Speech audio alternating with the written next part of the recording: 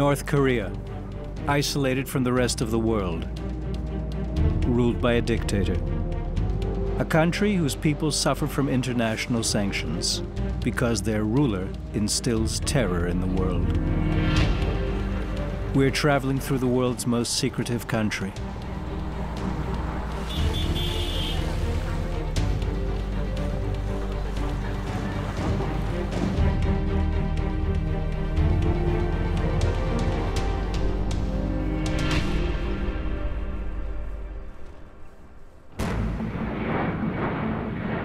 Stopover in Beijing. Our next destination is Pyongyang, the capital of North Korea.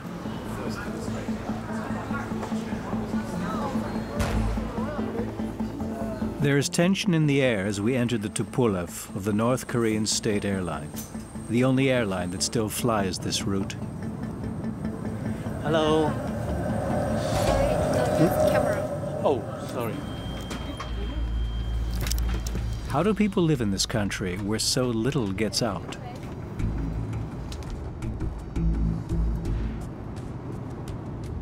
Dictator Kim Jong-un has tested a series of intercontinental missiles.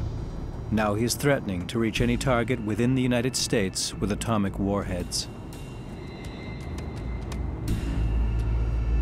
Yet he is looking for rapprochement with South Korea.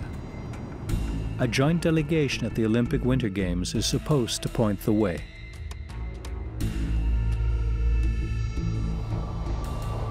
On arriving in Pyongyang, we are being searched. Our laptops and phones are scanned. Suspicious books are confiscated.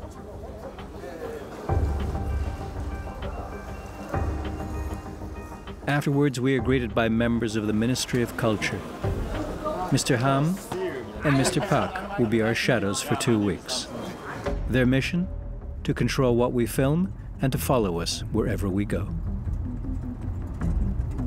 Just a few streets are lit up. Suddenly, our car slows down. In view of the leader's statues, everybody must drive at walking pace.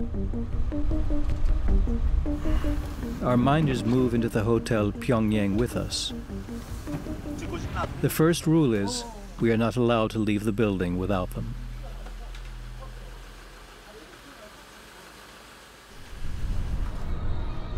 Our first morning in the capital of Kim Jong un's empire. About 3 million people live on the banks of the Taedong River. It is a privilege to live in Pyongyang. The government controls who gets to move here and who doesn't.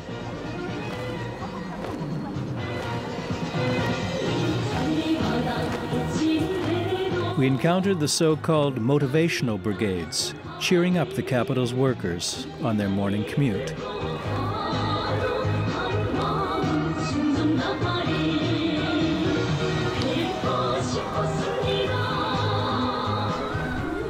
Accompanied by Mr. Ham and Mr. Pak from the Ministry of Culture, we leave for our first excursion into Korean everyday life.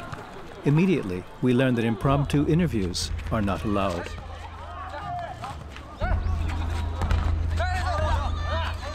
It's not just that we are not allowed to talk to anyone. It is not permitted for North Koreans to come in contact with foreigners. Volleyball is the most popular recreational sport in the country, our guides tell us. Tennis is another trend, they say.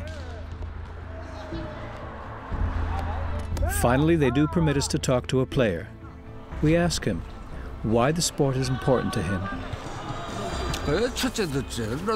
Our people have to become fit to be able to defend ourselves against the Americans.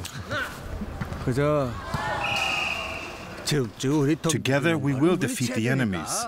That is our people's first duty. But is he really afraid that, that the US attacked? We are not afraid. We are prepared. Everywhere in the city, there are huge portraits of the big leaders Kim Il sung and his son, Kim Jong il, the father of the Kim clan's youngest dictator, Kim Jong un.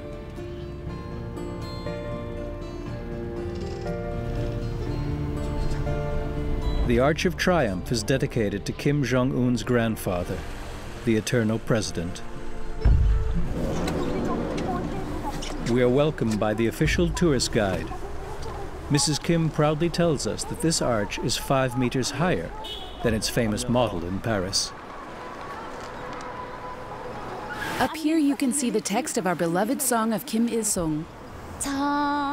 장백산 줄기줄기 피어린 자우 압록강 굽이굽이 피어린 자우 After this patriotic musical interlude, we visit the inside of the monument. We are shown a film about the arch. It even has a German version. Ein für ewig überlieferndes Denkmal der Revolution trägt die erhabene Idee des großen Führers Genossen Kim Jong-il, der die große Leistung des großen Führers Genossen Kim Il-sung, die Wiedergeburt des Vaterlandes von Generation zu Generation überliefern will. The state's founder, Kim Il sung, has created a cult around himself and his family, which resembles the dynasties of pharaohs more than it does a modern state. Pyongyang looks a lot like a Russian city, but there is also a distinctive Chinese influence. Whatever the Kim family's youngest offspring announces in his capital is not only law, but also a promise.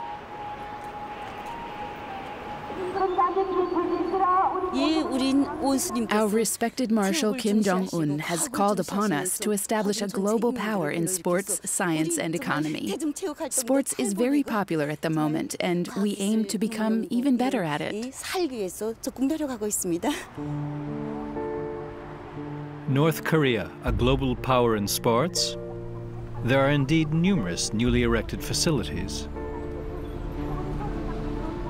Think big is the motto. At the Ice Dome, which seats 6,000 spectators, the national teams practice. Figure skating is the sport where North Korea's chances of international success are the highest. Our great President Kim Il sung has visited this stadium twice, and our great leader Kim Jong il was here seven times. Even our highly respected Marshal Kim Jong un has visited us four times already. Visits by the leader are honor and obligation at the same time. Athletic achievements don't serve the pursuit of an individual career, but are a service to the nation and its leader.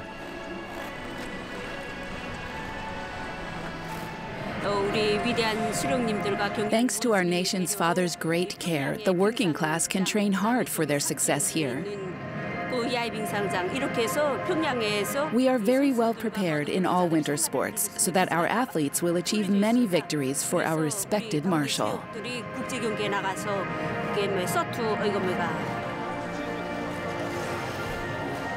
Moon Soo-il has already competed in international competitions.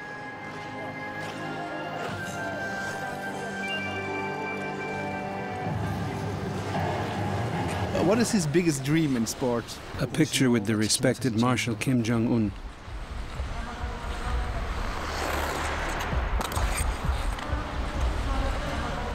An 18 year old is training with his 12 year old partner, a lightweight, which facilitates lifts and throws.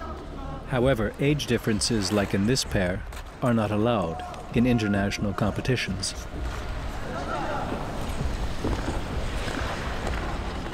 Pair's coach has little appreciation for this rule.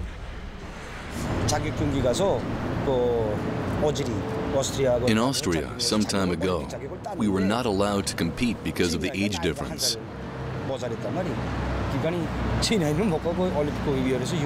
We had to go with an older girl instead and did not win anything.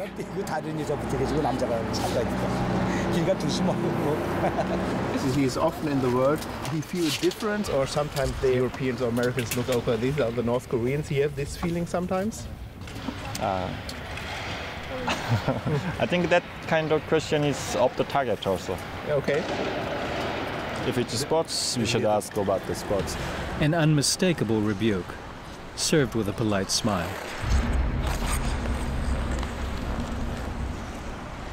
Our attendants lead us to another gem of Pyongyang, the metro. Its stations are among the deepest in the world. In the event of war, they are supposed to provide shelter from airstrikes. Sheltered, or rather shielded, is also what the population is from independent media. The internet is banned in North Korea. There is no free press. The only source of information available are public newspapers, which only spread propaganda.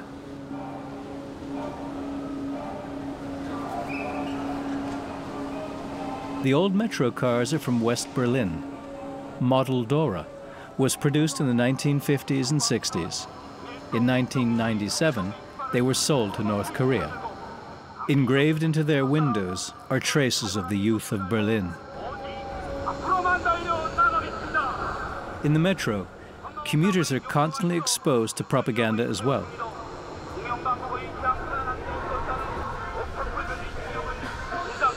We're allowed to travel with them for one stop. At Yonggwang Station, we are told to get off again.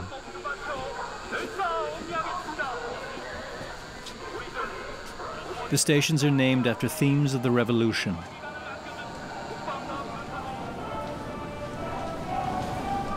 We ask whether it is possible to call home. We have been told North Koreans were not allowed to make international calls or to send email to other countries. However, we learn there are special rules applying to us foreigners. Since 2007, SIM cards for smartphones can be purchased, our attendant tells us. Uh, originally, it's uh, two hundred dollars for the SIM card and uh, this uh, internet. Yes. Uh, but they suggest you add another fifty dollars. With a service fee, it comes to $350.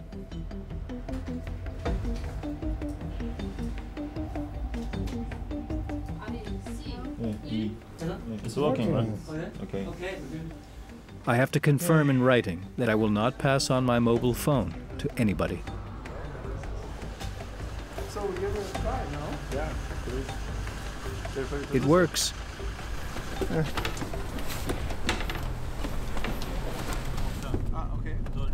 But is it also possible for Korean people to buy this? It's it Or might it's be just, just, just, just for the for the foreigners? It might be possible, but you know, we have the intranet and we are Uh-huh. fine with that. Okay. But do you think there's a it's, it's a gray or black market to to, to sell to, No. to, to Korean people? No, you know, uh, in our country, uh, our country, as you can witness, is the safest place on earth.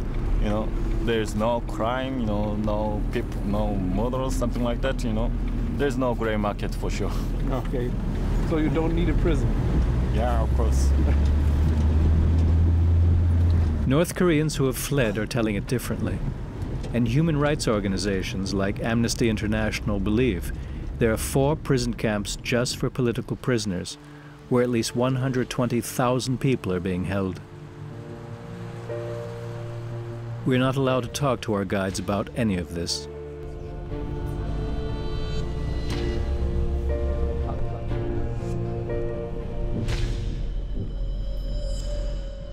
We are visiting the kindergarten, Gyeongsang.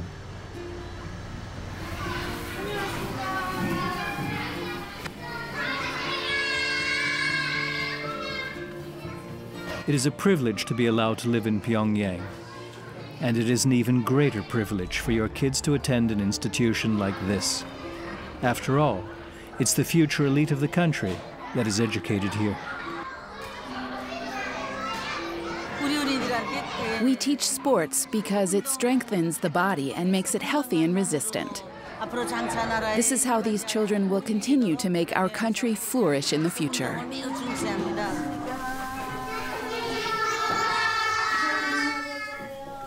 The little ones are taken care of from 8 a.m. until 5 p.m.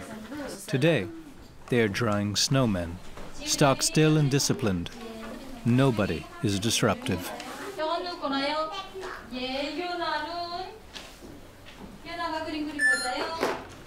Suddenly there's a blackout. Everybody remains surprisingly calm, as this happens frequently.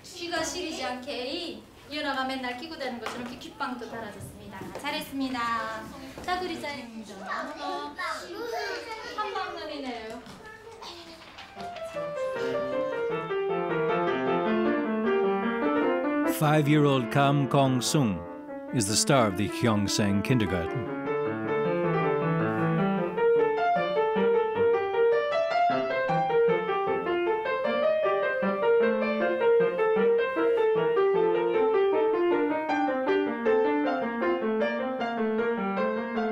Prelude in D minor by Johann Sebastian Bach.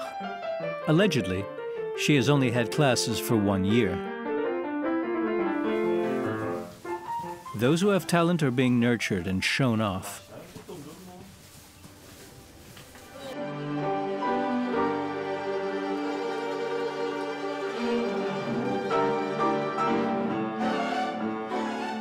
Another highlight the kindergarten orchestra is giving a special performance in three quarter time in our honor.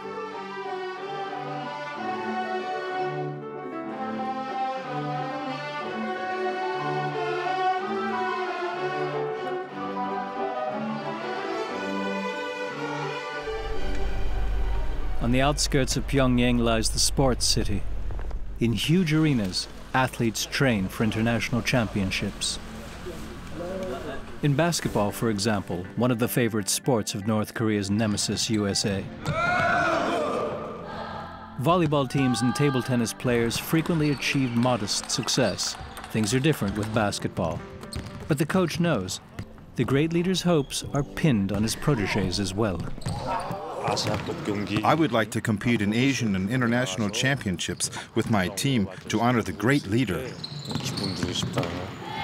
Nothing is apolitical in North Korea. Everything serves a higher purpose, even sports. My wish is to uphold the ideas of our respected leader in volleyball. I want to make sure our teams will become as successful as they used to be. 세계적으로 강팀으로 됐을 때 그때만큼 우리가 올라서서 세계적 이름에는 좀 높이 떨치게 해줘. rush hour on Changsong Bridge, even though fuel and energy are scarce due to sanctions.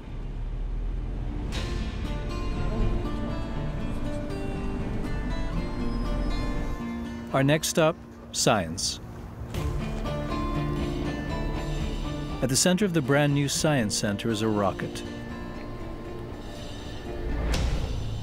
It symbolizes how close science is to the leader's heart, we learn.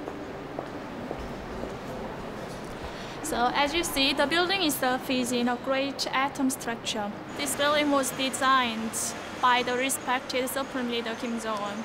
Many experts designed this building under the wise leadership of the Supreme Leader Kim Jong-un. Science is defined by weapons technology above all. For North Korea's regime, national independence and the ability to defend itself are inextricably linked with each other. This is the model of a space rocket written Unha number 3, that means galaxy in English.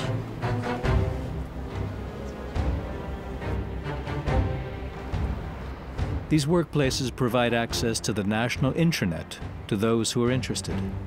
It is not to be confused with the internet, which is banned. This is the complex to disseminate science and technology. This is a comprehensive electronic library.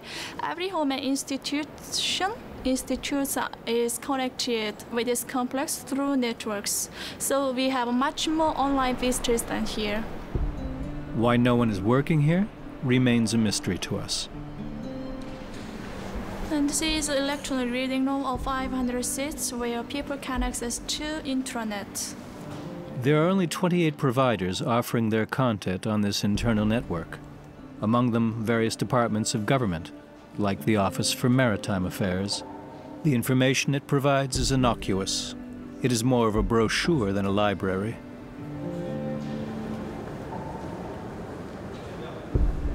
The intranet is also supposed to give children an understanding of science. This is Children's Dream Hall, where children can go into the world of science the kind of science that is seen as useful in North Korea.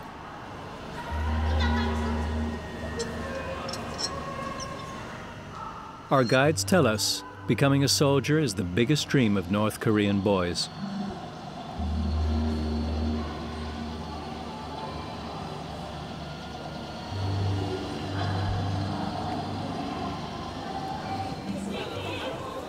Outside, the sidewalks have now filled up with people. The entire city seems to be up and about. They are waiting for a convoy of buses. We have no idea what is happening and spontaneously decide to start filming. Yet Mr. Ham and Mr. Pak are visibly nervous and have us get back in the car. No cameras allowed. We still manage to take some shots. All roads are blocked. There's no getting through. Our shooting schedule, which had been planned for months by the ministry, has stalled. What's happening here? After repeatedly inquiring with our guides, we learned that the scientists working with the nuclear program are just now being driven to the Congress Center in tour buses. And people on the roadside are cheering. We are driven off, however, quickly into a back street, facing a wall. One member of our team has stayed in the hotel today. A lucky coincidence, as he watches and films what we are not allowed to see from his hotel room window. A convoy of buses being celebrated by the crowd, as their occupants are considered national heroes.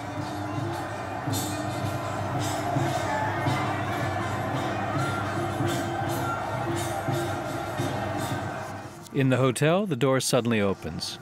The chambermaids enter and catch our colleague filming.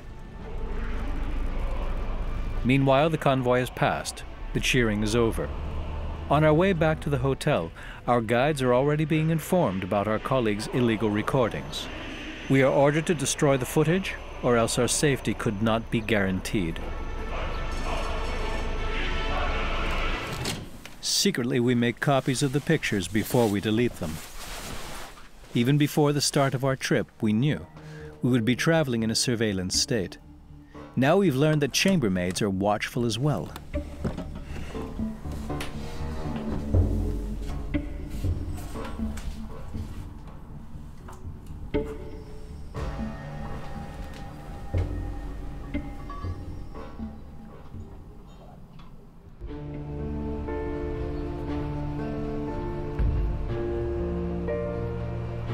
One of the country's largest economic sectors is the clothing industry. North Korea used to produce merchandise for Chinese businesses that was shipped to the whole world. Trade sanctions have hit factories hard, including the Ryuwon shoe factory.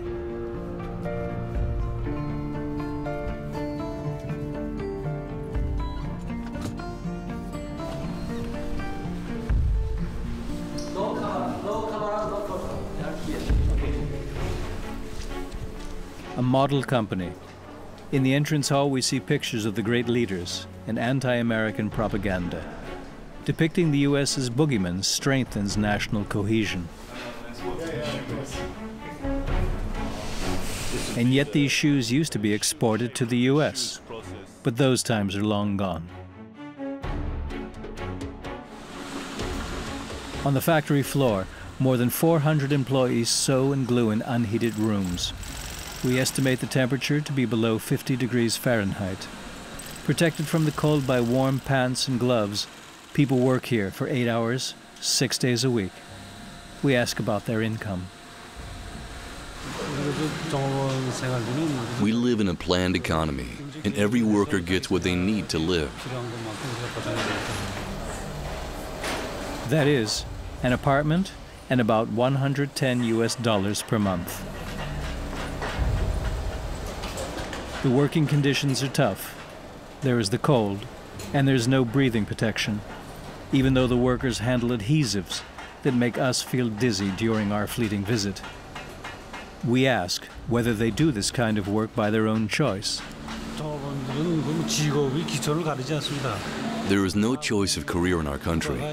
Every citizen is deployed where they are needed. There is no good or bad work. The government decides where you are deployed. Our guides probably suspect you could see things differently. To prove how benevolent the government acts towards its workers, they lead us into the basement, where sauna and pool are available to the workforce. The catch? The air and the water down here are ice cold. We suspect the spa area is not being heated because of the energy shortage as a result of the sanctions.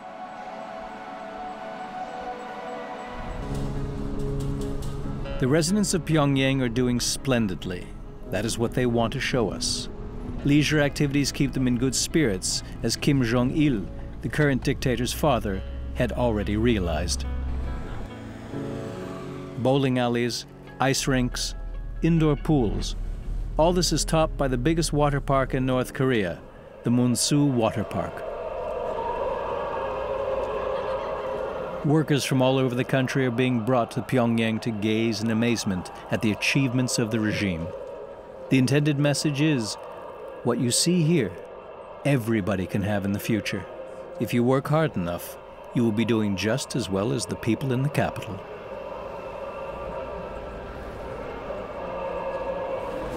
I kindly ask you to not take any pictures. Okay After the statue, you can take freely all the pictures.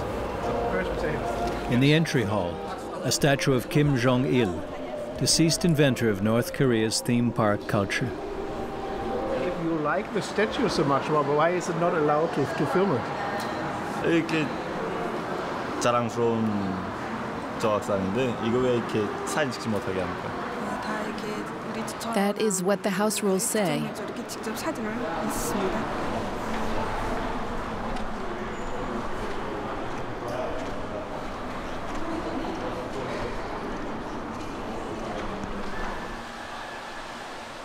A pipeline supplies the water park with seawater, even though it is 25 miles from the coast.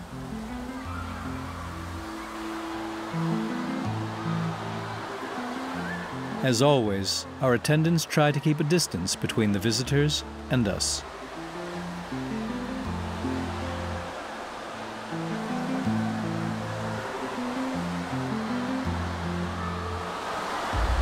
After some discussion, Mr. Ham chooses an interview partner for us. I'm from the country, and I'm visiting the capital with my delegation. After many other stops, we have come to this water park today. I can sense the love of our respected Marshal Kim Jong un here. Solely for our pleasure, he has built this water park. It moves me so much, I can hardly put it into words. Praise that seems rehearsed for the leader and his love for the people that manifests itself in everything. We are shown the restaurant, the cafe, and the hair salon. These are our beautiful haircuts the Korean ladies can choose from. At the salon, we only use the best equipment because our respected marshal wants our women and men to get nothing but the best. 18 haircuts for women, 10 haircuts for men. If you wear one of these, you show your loyalty to the regime externally, too.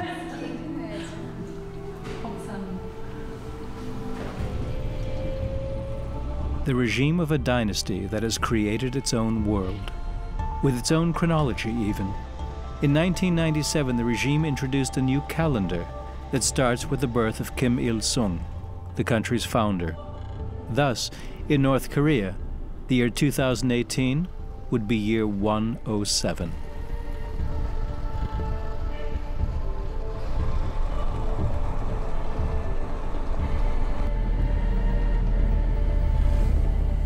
The brave new world of Pyongyang even houses a riding club.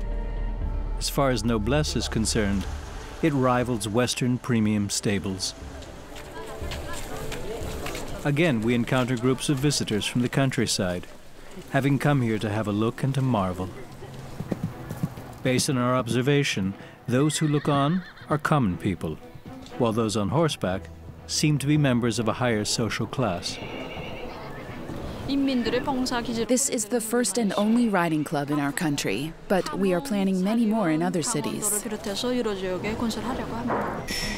The horses are Hanoverians from Germany, and quarter horses from England. How these noble animals came here despite the embargo remains a mystery. Our respected marshal has opened this riding club to provide each and every Korean with the possibility to ride.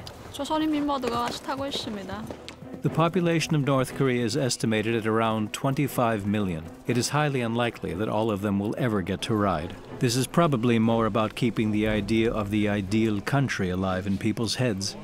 왔습니까? 요즘에 사랑카페에서 평양견 왔습니다. 평양견 와가지고 So she's uh, he's on a visit by the love of our respected Marshal Kim Jong-un. 어, 그러니까 어디서 왔습니까?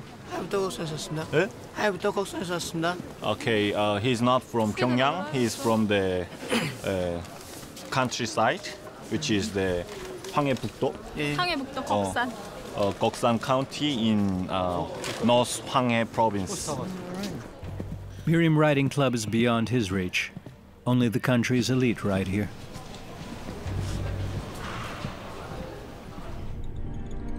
Through dark Pyongyang, we head back to the hotel. We keep seeing uniforms. With 1.3 million soldiers, North Korea's army is the fourth largest in the world.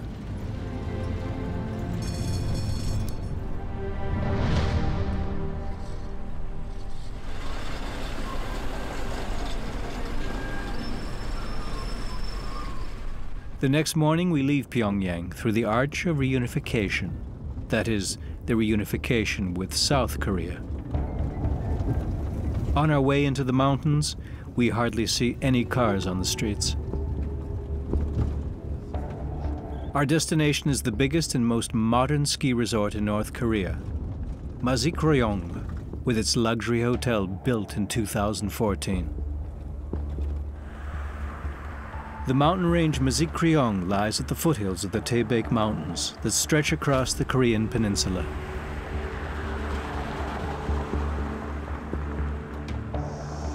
We pass several huge anti-tank barriers on the way.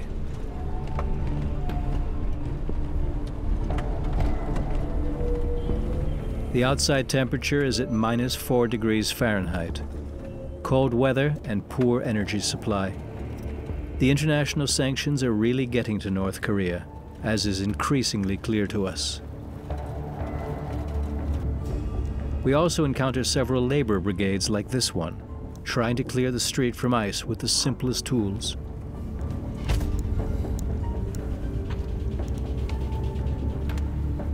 Every village maintains its own section. The local People's Committee decides who has to go out on the street.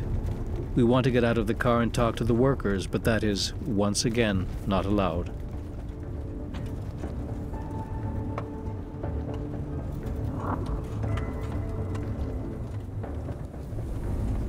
After five hours, we reach the main gate of the ski resort.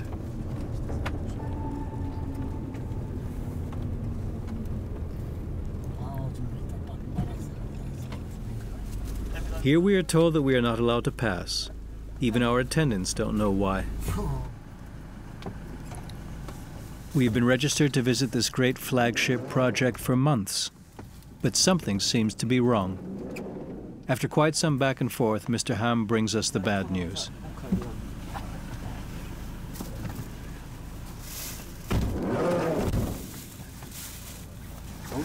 They say there is no way we are going in.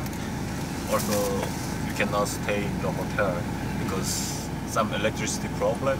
But is it just possible to see the hotel, just to make some pictures from They the say- hotel? They say the car cannot go. It sounds like a flimsy excuse, yet we never learn the real reason why we can't see the ski area. The glitch in the schedule means we have to improvise.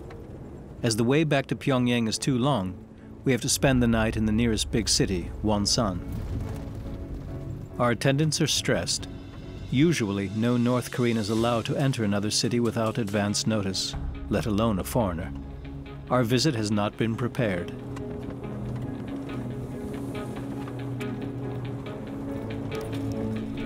Wonsan is the provincial capital and is located on the Sea of Japan, that is called East Sea in both South and North Korea. First, our guides organize accommodation for us.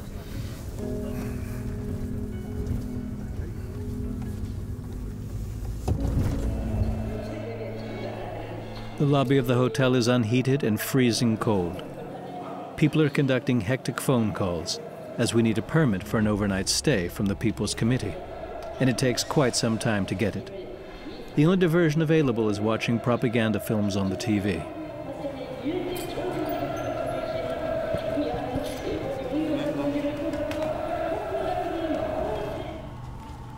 In the hotel room, we get to feel the effects of the sanctions. There's no oil, no gas from China and Russia, and that means no heat. Even though all the thermometers in the room show 30 degrees Celsius, 86 degrees Fahrenheit, the actual temperature is around 45 degrees Fahrenheit. Warm water is rationed to two hours a day. In Wonsan, we are not allowed to leave the hotel without attendance either, and witness a blackout of the entire new town.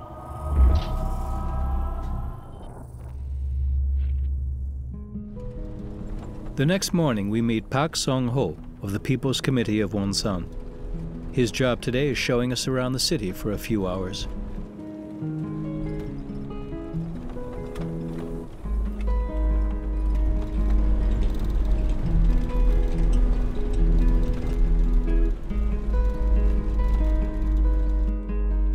Wonsan is to become a tourist capital. At least that is the plan.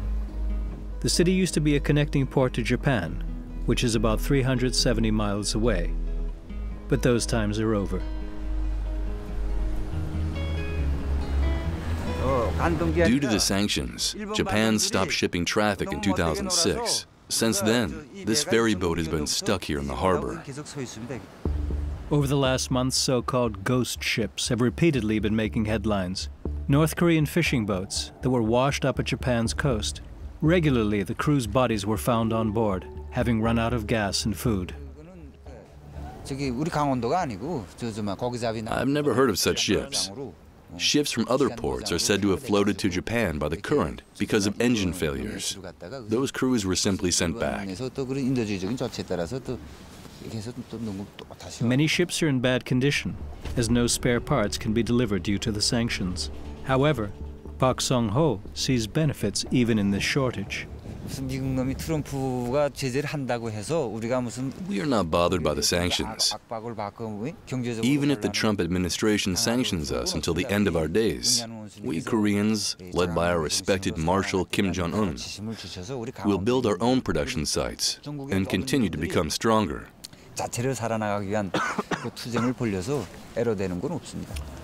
Wonsan's mussel farms were one of the main sources of income for the city before the embargo. Today, they only produce for the domestic market. Pak Song Ho from the People's Committee wants to take us to one of the city's model companies,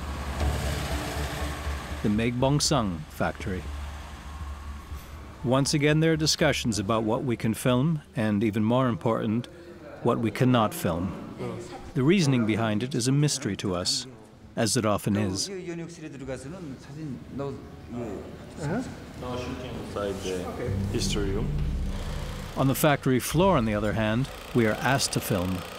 The manager proudly tells us about motivated workers, grateful to have been assigned to this workplace by the government. Discontent or even protests don't exist in North Korea. There are posters and banners everywhere they are supposed to increase productivity. Beat the enemy without mercy. Rise up and keep the fire of the revolutions burning. Work so that progress cannot be stopped and our country can continue to prosper. These messages are rammed down North Koreans' throats all their lives.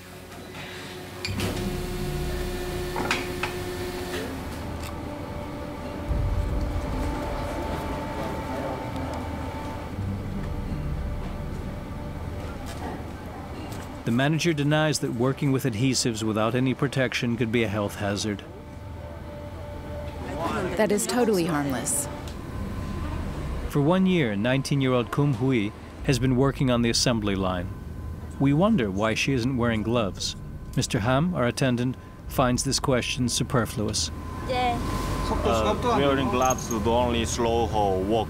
Uh, it's more better with a bare hand.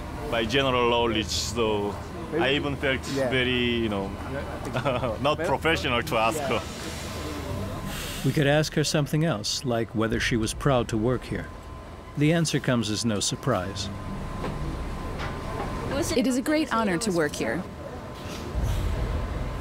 And who are these shoes for? Until a few years ago, they were exported to Russia, we're told. Since the beginning of the sanctions, all is left is the domestic market. On our way back to Pyongyang, we pass the anti-tank barriers once more. There's no freedom of travel in North Korea. Those who want to travel need a permit, especially in the capital. Going there on the spur of the moment isn't possible. Those who live here, or at least can send their child to a boarding school, have achieved quite a lot in Kim Jong un's system. Right next to the huge 1st of May Stadium, there is a flagship project of North Korean sports, the Soccer Academy. Thousands of students each year are hoping for a place in this elite school. Only about 30 children are selected per year. For those chosen few, it is maximum commitment and loyalty to the regime. 우리 학교는 Our great leader, Kim Jong il himself, came up with the idea of founding this school.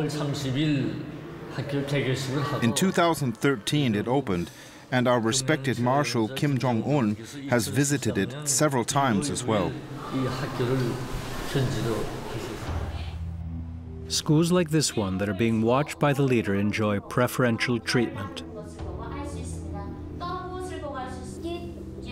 Kids here are between 7 and 12. Not all of them are good enough to have a career in soccer afterwards. Loyalty to the regime is something they all learn, however. We visit one of the dormitories. We are asked not to film any children in here. Yeah, this is a room for boys, little boys, and they have bunk bed, not like girls and older boys. And what else? Uh, so the bunk bed is more fun for boys, little boys, and more spacious. So they have a little bit, you know, rough time here, like playing around. Ten boys in one bed under the watchful eye of the Kim dynasty. The assistant principal still remembers the visit of the current dictator. We call it indoor, indoor football area. Uh, Actually, when our school was established, we didn't have a roof here. It was plain, you know. And when our great Marshal Kim Jong-un visited our school, he came here and looked above and he told us it will be great to have a roof here. Then we can have students here can have a training when it's raining and when it's snowing. It's not quite cold for little kids. So we built a roof. A roof for the students. Kim Jong un even sees about such small details. The dictator is a caring father. That is how he wants people to perceive him. And they should learn that they owe him special thanks and absolute loyalty. Five hours of practice in the morning and four hours in the afternoon. Light snowfall is considered good weather, so they are practicing outside.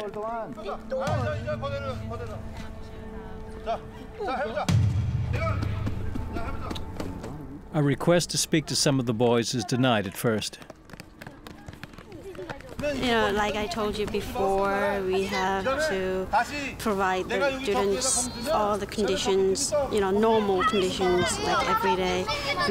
Or the school doesn't want to break any, you know, like routines. Yeah, it's not good for them. Routine aside, the assistant principal makes an exception for us. We are allowed to ask one boy what he likes best about his school. It's just great to be able to learn and practice at this school that the great leader built for us. It fills me with great pride. A totalitarian state leaves no room for protest or even spontaneity during childhood. After many days of total surveillance, something completely unexpected happens. Our guides allow us to walk around the city with our camera for one hour, without them, unobserved. Yet we cannot speak to anybody.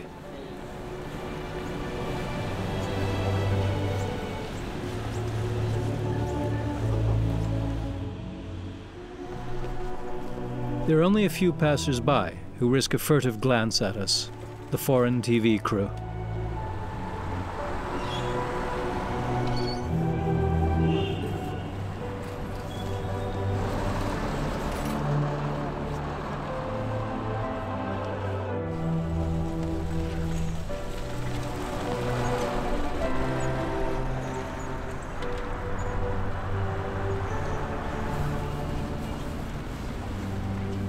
According to international relief organizations, food supply has improved over the last years in all of North Korea, but in Pyongyang especially. One of the reasons for that being the fact that farmers can sell a small part of their harvest on local markets themselves. We are not allowed to film there, however.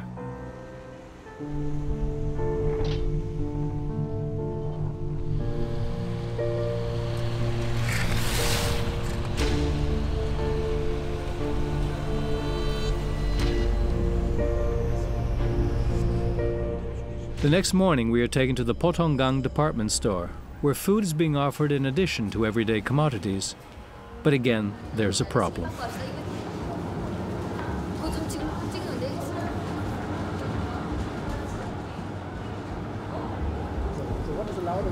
Uh, this shop has a rule that no cameras are allowed inside the shop. After some lengthy discussion, we are granted permission to film in the entrance area. Price tags are off limits. Those who can pay in the currency of the big nemesis, the USA, in dollars. The others have to pay large sums in North Korean won. Every citizen receives a certain amount of rice and cabbage for free. Everything else is expensive, especially imported goods. Even pickled cucumbers and garlic. The shortage is not evident, but palpable everywhere. We are told apartments were usually unheated, even in Pyongyang, and often have no electricity. We are driven to the city's first gym. We are curious as to what will await us there.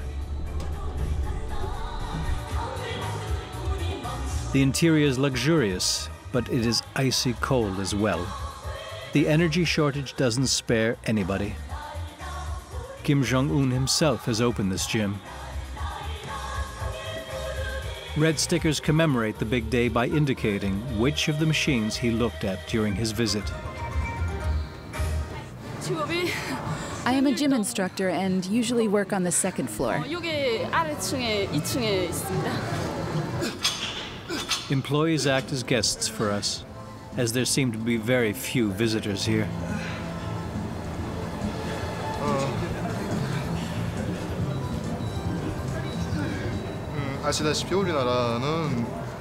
We have to train our bodies well, to strengthen socialism and to be prepared for the war against the United States. There it is again, the ubiquitous argument of a threat posed by the U.S. that is injected in people from an early age.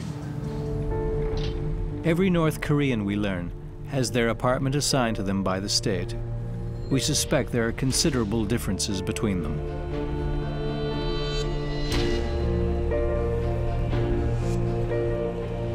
In this apartment building in the best location, we finally get to visit a private household, of a selected family, of course.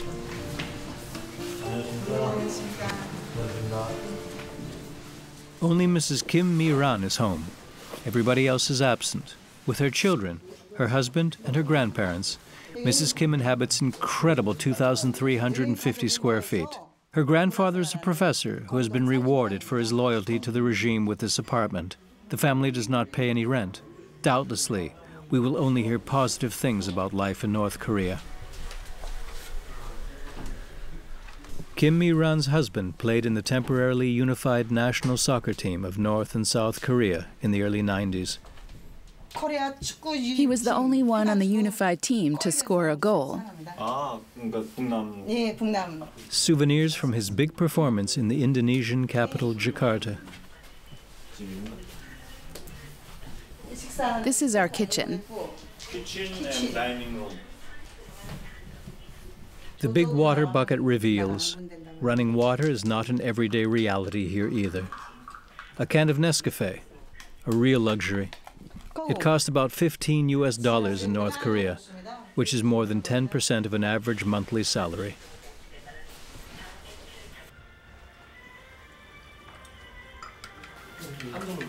It's not only our attendants who monitor every word, Mrs. Kim says. The so called house manager is part of the surveillance state as well.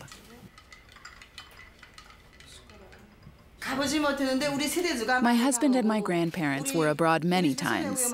Yet every time they come back, they say, even though it might look beautiful and sparkle more elsewhere, our country is the best because it is the only place where you can live well and happily. Mrs. Kim and her family belong to the upper class. Someone like her has every reason to praise the regime. Many things are left unsaid or remain hidden, to us as well as to North Koreans themselves. On this trip, we did not learn what is inside people's heads. Individuality is frowned upon. Every citizen has to unconditionally submit to the values of the Kim dynasty, at least outwardly. That is the number one rule in this mysterious country.